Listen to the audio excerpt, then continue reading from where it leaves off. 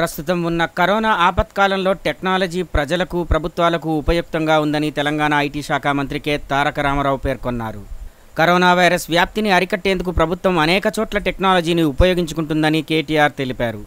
సాధారణ మానవుని జీవితంలో మార్పు తెలియనటువంటి సాంకేతిక పరిజ్ఞానం వృధా అని మా ముఖ్యమంత్రి కేసీఆర్ ఎప్పటికప్పుడు చెబుతూ ఉంటారని అదే స్ఫూర్తితో ఆపత్కాలంలో టెక్నాలజీని వాడుకునేందుకు సిద్ధంగా ఉన్నామని కరోనా వలన ఏర్పడిన పరిమితులను అధిగమించేందుకు నూతన సాంకేతిక పరిష్కారాలు వస్తాయన్న ఆశాభావం వ్యక్తం చేశారు. ఈ రోజు జరిగిన వరల్డ్ ఎకనామిక్ ఫోరం సమావేశంలో మంత్రి కేటీఆర్ ప్రసంగించారు. World Economic Forum Regional Action Group for South Asia పేరుతో జరిగిన సమావేశంలో మంత్రి కేటీఆర్ పలువురు దక్షిణాసియాకు చెందిన వివిధ దేశాల మంత్రులు పలు కంపెనీల ప్రతినిధులు ఇతర ప్రముఖులతో కలిసి మాట్లాడారు. కోవిడ్ వైరస్ ఎదుర్కోవడంలో ఎమర్జింగ్ టెక్నాలజీల పాత్ర అనే అంశంపై మంత్రి ప్రసంగించారు.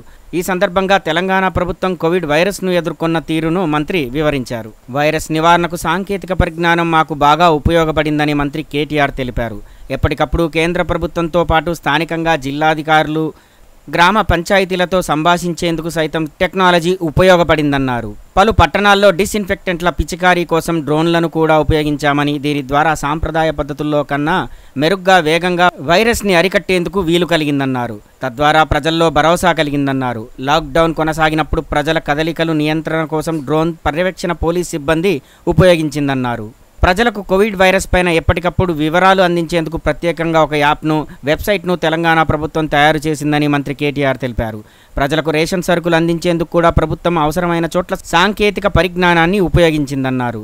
మొత్తంగా టెక్నాలజీ ఈ సంక్లిష్ట సమయంలో అనేక సమస్యలకు పరిష్కారం ఇవ్వడంతో పాటు నూతన అవకాశాలను అందిపుచ్చుకునేందుకు అవకాశాలను కల్పించిందన్నారు.